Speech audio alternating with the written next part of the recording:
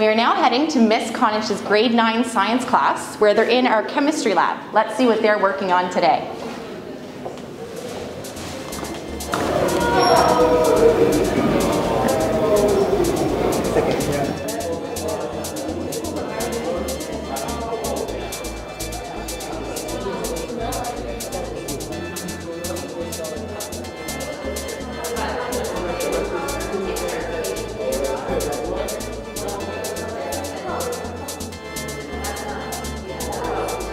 Thank you very much, Ms. Connick, for joining us today to learn more about the science program at DSC. Can you explain to me a little bit about our science program at DSC? Yeah, so um, we follow the Ontario curriculum, and within the curriculum, both grade 9 and 10 offer a general sciences. So within our general science, they cover topics within units such as biology, chemistry, physics, and um, earth and space science.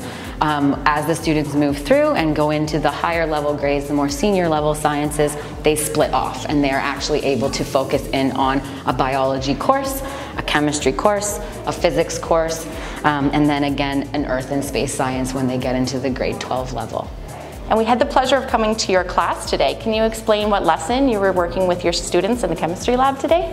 Yes, um, so right now we're working with the grade 9s and they are in their chemistry unit. Um, so currently they are working on observing and making observations, um, recording their observations about uh, physical and chemical properties of various substances. So today they are actually working on a forensic chemistry lab where they have to observe the physical and chemical traits of various known substances in order to identify um, what substance, a mystery substance that they are working on testing is. Can you explain a little bit more about the departments that you work in terms of course selection for our high school students? So uh, within the science and math department, um, there's a variety of selection, um, as I just said, with the different strains of sciences when they get into the senior level.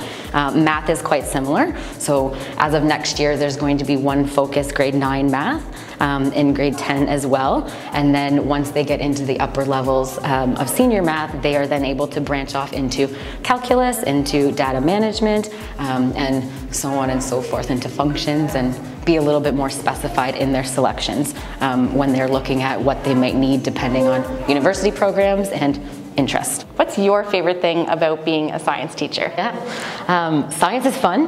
Uh, all the students get really engaged. They get to be working hands-on and actually applying the knowledge and content that we talk about in class, and it always fosters a lot of excitement and curiosity within them, and I love being able to witness that.